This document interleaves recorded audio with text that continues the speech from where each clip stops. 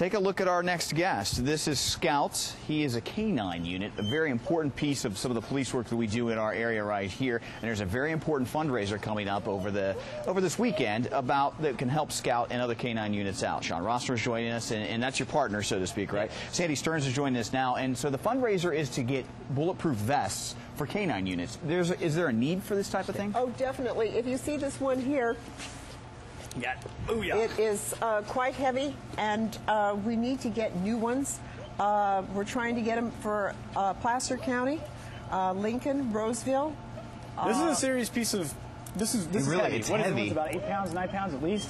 Never waited. Let me there. ask you this question, Cindy. How much Yeah. do they cost? Around two thousand dollars a piece. So they're pretty expensive piece of equipment that uh, that the dogs certainly need.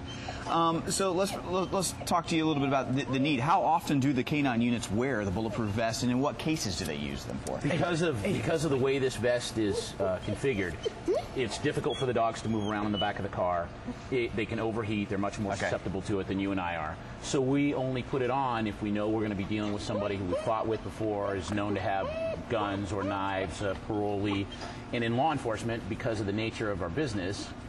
You know, it's better to wear it all the time, like what Matt and I do. Is he is Sean right now? Is he anxious to go to work? He is. Okay, Ryan, explain what we're going to do here. Okay, well, his primary function is to find drugs and bad guys. And what uh, what um, Sean did over here was went ahead and hid some contraband out in the bushes in the area. And Scout didn't see anything, you know, where it was going to be. So what what we're going to do is we're going to see if he can find it. Now, Sean was explaining to me as, as soon as he kind of shows. Scout his toy, he knows he's time to go to work. Now, I, it was explained to me that this dog is a hound for this. He really wants to play with his toy. He's not going to get to play with his toy until he finds the drugs. So, right now we see, well, looks like he might have spotted something over Did? there.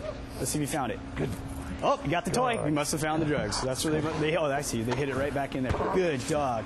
And you know, it's a, the the the whole vest thing. Those things have a, a life expectancy of only a couple of years, and that's why it's important for uh, the Placer County Sheriff's Department to get new vests, and that's where this fundraiser comes in that we're having on Sunday. Sean, what type of training does uh, Scout go through? How long? How long is he in service for?